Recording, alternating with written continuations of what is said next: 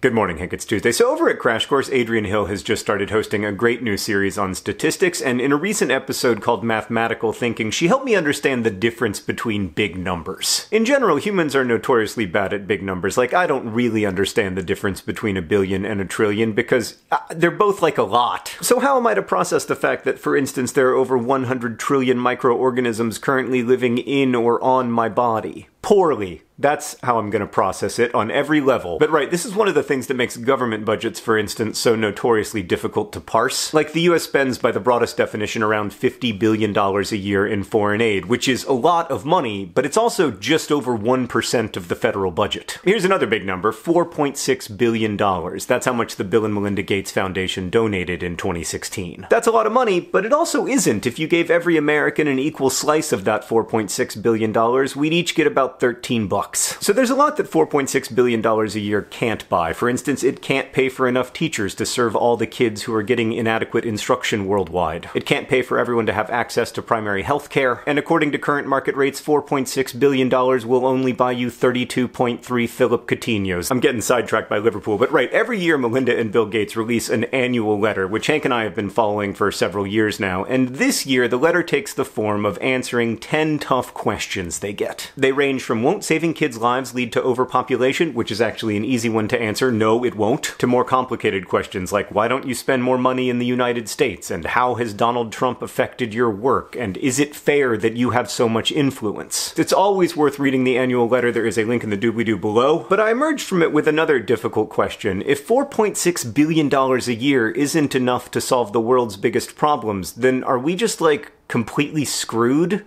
I think that's the technical term. I actually got to ask Bill Gates about this on a phone call a couple weeks ago, and the first thing he pointed out to me is that not every dollar spent has equal impact. Say a piece of wealth is a rounding error percentage of the global economy or global wealth.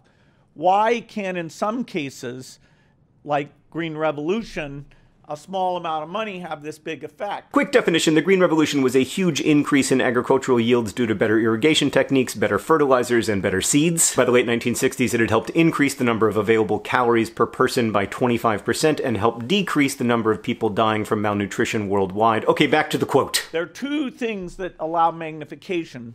One is invention of a new tool, so a magic seed, a magic vaccine. The second is a system of delivery, systems of activity like good primary health care, educating farmers, and then tools. Those are the two things that are are so disproportionate. And on this, I completely agree. Breakthrough technologies can be absolutely transformational, and investing in better systems can be disproportionately effective because those systems can continue to produce good results over time even after you stop funding them. This is why the Gates Foundation is investing in better toilets and new vaccines, but also in primary healthcare systems. It's also why, when spent well, the US's foreign aid budget actually can go a really long way. Like beginning during the George W. Bush presidency, the US invested invested a few billion dollars a year to improve access to and availability of AIDS treatment in the developing world. That program had lots of flaws. For one thing, it focused way too much on abstinence only strategies, but nonetheless, a 2009 study found that it saved 1.2 million lives. You probably don't have a billion dollars, but I believe that how each of us chooses to use our resources shapes the world we end up sharing. And that goes for how we spend our money, but also the resources of our attention and our time.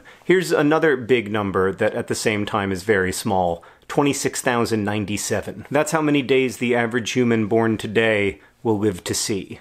Let's make them count. Hank, I'll see you on Friday.